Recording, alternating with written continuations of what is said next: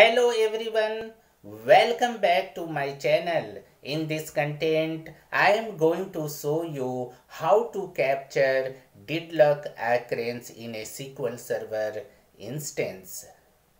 It's a good idea to get a health check report every day morning how often deadlock occurs in each instance since server startup how many deadlock per day on a average? If 10 deadlock happening a day for a instance then it's a fine. But if more than 10 deadlock occurs then you can investigate. Let's connect with sql server management studio to show you a script to get a report on a deadlock occurrence one request for support me, please subscribe my channel to get a interesting content on a SQL server.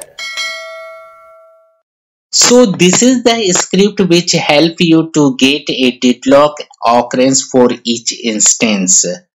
I am using here sysdmos performance counter and a sys database. Inner join with sys database and db name tempdb. From tempdb I am getting the server start date time and current time as temp which help you to calculate number of days since server started and center value 1.0 into center value to calculate average per day start time. I am using counter name number of a deadlock you have to use instance name you have to use underscore total. And date create date for temp database that is server start date time. Let's run this script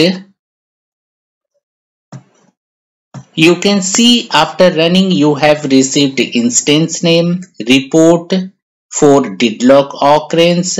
Average per day deadlock is null. It means since server is started, no deadlock occur in this instance.